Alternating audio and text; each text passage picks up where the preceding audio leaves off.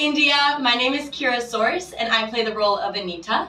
Hi India, my name is Melanie and I play Maria and I'm here with my sis to tell you that we're going to be at the Nita Mukesh Ambani Cultural Center August 16 through 27. We are the first production of West Side Story ever to come to India for you. See you soon! I like to